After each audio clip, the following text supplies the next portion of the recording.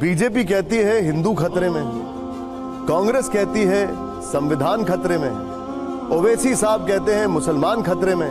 के खतरे में तो कोई चीज़ नहीं है।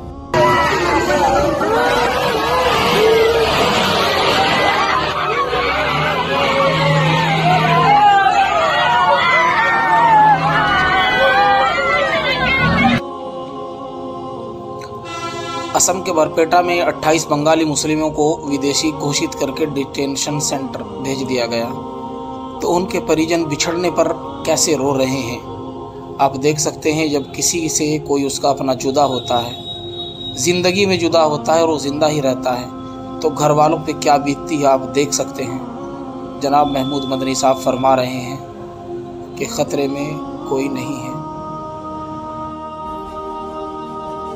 सच्ची बात यह है कि खतरे में तो कोई चीज़ नहीं है। ये कोई मुस्लिम बुज़ुर्गों को हॉस्पिटल में पीटे तब भी ख़तरे में कोई नहीं है।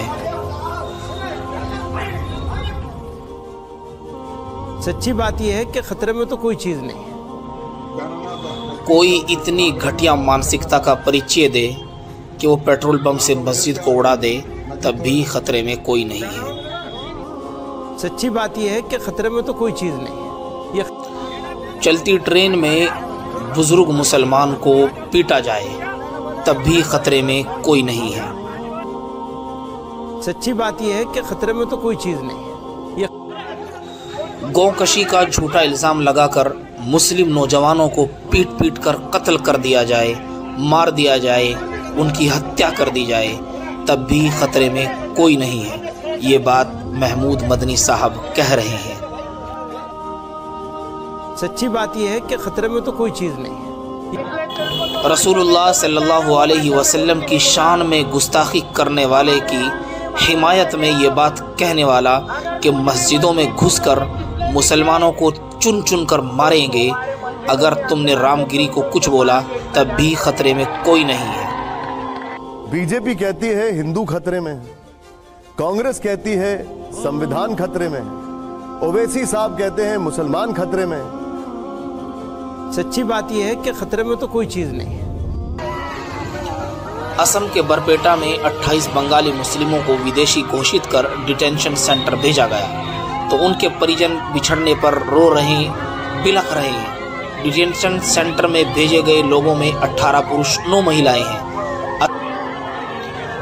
असम में एक लाख उन्नीस हज़ार पाँच सौ सत्तर डी वोटर हैं, जिनमें से चौवन हज़ार चार सौ ग्यारह को विदेशी घोषित कर दिया गया है। कल बरपेटा से 28 बंगाली मुस्लिमों को विदेशी घोषित कर 50 किलोमीटर दूर गोवालपारा ज़िले के डिटेंशन सेंटर में भेज दिया गया है। महमूद मदनी साहब कह रहे हैं कि खतरे में कोई नहीं है। बीजेपी कहती है हिंदू खतरे में, कांग्रेस कहती है संविधान खतरे में, ओवैसी साहब कहते हैं मुसलमान खतरे में।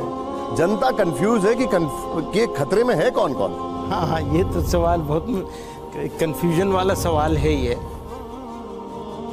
सबके अपने अपने फ़ायदे हैं तो सब एक दूसरे को खतरे में बता रहे हैं। सच्ची बात यह है कि खतरे में तो कोई चीज़ नहीं है। ये खतरे का जो झुंझुना है, ये सब लोगों को अपने हाथ से हटा देना चाहिए।